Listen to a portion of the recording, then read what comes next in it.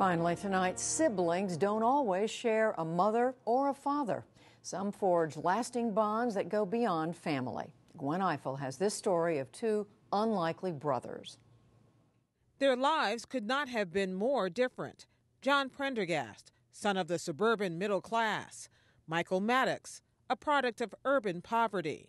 Thank you for all that you've done. One went on to become a White House advisor who travels the world with celebrities. They're just sleeping in the rain, basically. The other dropped out of school in seventh grade, opting instead for a lucrative life selling crack on the streets of Washington, D.C. Their paths converged, then diverged, and now have become intertwined again, this time as co authors of a new book documenting their 25 years of friendship near death experiences, family trauma, and finally, survival and success. John Prendergast and Michael Mattocks, thanks for joining us. The title of your book is Unlikely Brothers. I get the unlikely part looking at you, but what about the brother part? How did that start? Well, I was visiting a buddy of mine who was overseeing a homeless shelter back in Washington, D.C. back in 1983. I was 20 years old, and this guy, age seven, and his little brother, age six, came scrambling into the room where we were sitting, tumbling and tossing, and, and we just started playing and talking. And uh, it just got into my head why don't we go to the library, do a little reading, do some other stuff?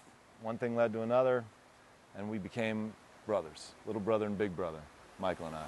Michael, how would you say the two of you are alike, and how are you different? He had the good job, and I had the bad kind of job, you know. That's the God honest truth. You got to bond as a yes. little boy going fishing in the Potomac River yes. with John.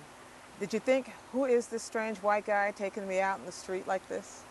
In the beginning, yeah. But I, I really at that time didn't care because we was having so much fun with him. We never like explored them different type of things that he had us doing you know, fishing and taking us to all these different parks and we on canoes. You know, I never like experienced some type of things when we were small. You know, a lot of my family, you know, they, they had a lot of problems with that. Who is this white guy coming in here, taking them kids out? They used to always tell my mom, you, you need to stop letting that white man take them boys, you know what I'm saying? Who is he? You don't know this. And, you know, but it, my mom knew we was in good hand with John. You were kind of a do-gooder. And I was a do-gooder in the sort of you know, in the universal sense, but not necessarily in the interpersonal sense. So Michael then became someone who pierced right through my heart, and I had a lot of shells around my heart, and I just felt very early on that he that we were family. This was the part of your lives where you did very different things. Yes. John, you went to Africa. You became an activist on behalf of issues for underserved populations, and I'd like for you to read a little bit about your experience uh, in one of the places you went, which was in Uganda. Okay. In northern Uganda, I once befriended a former child soldier who had recently escaped from captivity and who had endured some of the worst horrors I had ever heard from my years in war zones. Seeing his hard eyes, his cool demeanor, the dangling cigarette, and the ever present, vaguely concealed weapon, I couldn't help but think how similar these child soldiers in Africa were to the child soldiers in the streets of D.C. making money for older people who were willing to use them as pawns. Now, Michael, if you read that literally, you are one of the child soldiers. Yes. Read for us, if you don't mind, this section of the book where you talk about your experience. I used to walk around with my buddy Tony sawed off pump shotgun up under my coat. I had the barrel in my pocket and the butt up under my shoulder. We robbed crackheads with it we'll only get 50 or 60 bucks. But it was the fear in the faces when I whipped out, when I whipped that big thing out that I like. Respect, man, fear or respect. Respect, fear and respect. That's why you were in the life? Yes. How much did you enjoy doing what you were doing, even though you knew you shouldn't be doing it? I enjoyed it. I really did. I enjoyed it. I enjoyed everything. So, what made you get out of it? Um, I was tired.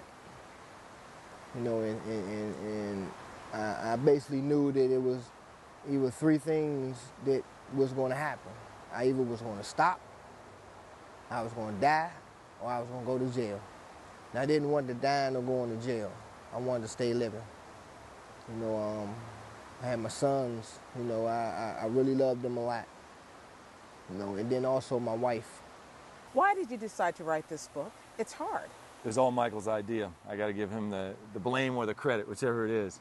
Um, and he felt like his story could be an example for other young people who go through really difficult circumstances, come out on the other side okay.